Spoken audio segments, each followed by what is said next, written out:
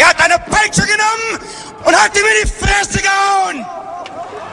Das hat er gemacht. Du dumme Sau!